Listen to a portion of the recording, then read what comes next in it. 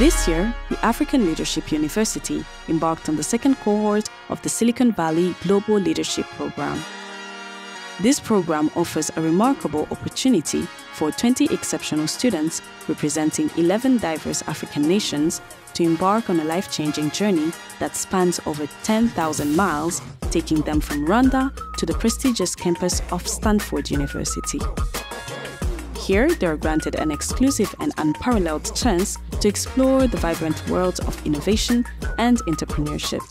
Through lectures, workshops, fireside chats, and company visits, students will have a chance to fully immerse themselves in the vibrant Silicon Valley ecosystem and learn directly from industry experts and thought leaders.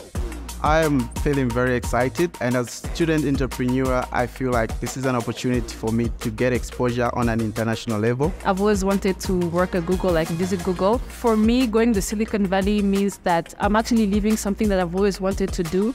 This is a dream come true for me. I hope to really get to talk to these people who run this very huge enterprise and learn from them how I can do the same here in Africa.